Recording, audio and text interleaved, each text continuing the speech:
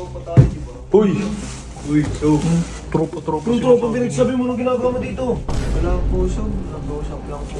Ano pinag-uusapan nyo? Huwag ka mahiya, ano nga yun? Ano yun? Sabi mo na. Dali- Dalian mo kasi kakain kami ni PJ. Eh, mangutang sa ako kay PG. Ano? Nahihiya din ako sa pinsan ko, tsaka kami kasi neto. BFF kami nito eh. Puntong ina mo. Eh, syempre, naliligaw kay AJ eh. May gusto sana akong bilhin kay AJ kaso medyo mabigat-bigat sa bulsa yun eh. Hiram lang sana ako kahit 50k. Ano?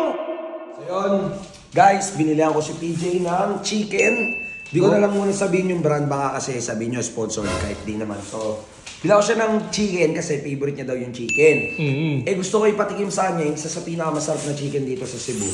Kaso hindi sponsored eh. Okay lang yan, at least nakatulong tayo sa business. Yan. 24 chicken, ayan o. Yun. So, kung taga Cebu kayo, masarap to. So, Yun.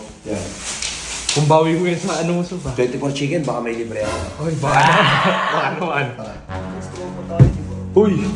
Uy, so. Tropa, tropa. Yung tropa pinagsabi mo nung ginagawa mo dito. Nagugulo ka na naman. Hindi, ang bugulo. Usap lang kami dalawa eh. Uy! Ano pinag-uusapan nyo?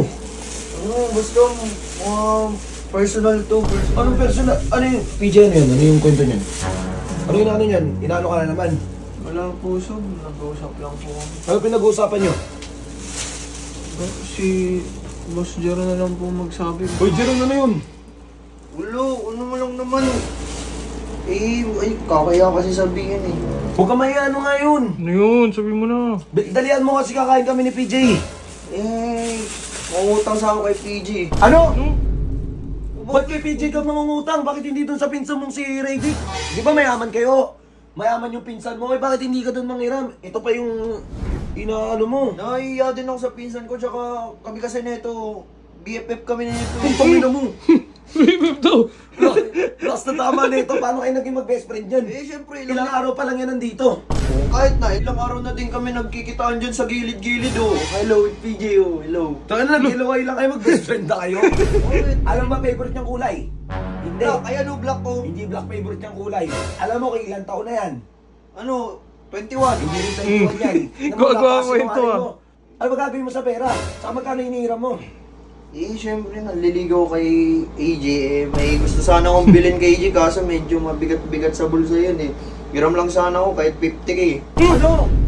50,000? Eh, barya lang naman sa kanya yun. Tsaka kung ano, ibabalik ko naman sa kanya 100% interest eh. Di balik ko sa kanya 100k. Tungin na mo, halatang nang-i-scam ka. Lo, Tsaka manliligaw-ligaw ka, wala kang pera. Yung kalandian mo, inuuna mo, wala ka naman palang pera. Tumigil ka, lumabas ka dito. Huwag si Troy dyan ang utang, ikaw pa nagbabayad. Ako nga, 50k lang uutangin ko, ibabayaran ko naman din eh. Huwag mo ikumpara si Troy. Si Troy dyan, anak ko, ikaw wala. Hindi kita kilala. Kung inong... Sige na, Kapal mo ah. Labas ka na tol. Huwag mo kabusuhin yung kabaitan ng tao porket nakita mong milyonaryo. Kabusuhin mo. Paul talaga nito eh. Ano ba natulong mo dito? Oh. Ano? Wala. Ano? Basta Jay, usap na lang tayo pag ano. Pag Kaya ano? Pag wala na sila. Usap tayo, best friend. Best friend. Best friend. Best friend ng Oo puti. nga, hindi nga BFF masaya. kami niyan. Oh, sige na. Oh, sige na. Lumabas ka na. Basta Jay ha. Yeah. Oy, PJ, bago tayo kumain, kausapin mo na kita. Iwasan mo yun sila, Jeron. Ha? Tignan mo, anong sinasabi niyan? Mayaman sila, tapos biglang mangungutang sa'yo. Yung sinabi nilang mayaman sila, kinukuha agad nila yung loob mo. Mhm. Ngayon, biglang nangutang. Ngayon, biglang naging mag-best friend na kayo. Sa susunod niyan, pagka-utang, aawain ka na niyan para hindi na siya magbayad ng utang sa'yo. Wala namang kaso sa ganyan eh, unless pirmahan kayo eh. Naku, tumigil ka dyan, PJ ha. Hindi po so kasi baka sabihan po nila na mayabang o madama po eh pag di ko sila pinahiram. Sus! Hindi yun. Huwag mong isipin yon. O sige, sabihin natin magkaibigan na kayo ni Jeron. O sige, kahit pa paano magkaibigan kayo ni Jeron. Protektahan mo yung pagiging magkaibigan nyo. Paano? Eh di huwag mo siyang pairamin. Bakit? Paano nyo naprotektahan yung pagiging magkaibigan mo dun, nyo dun?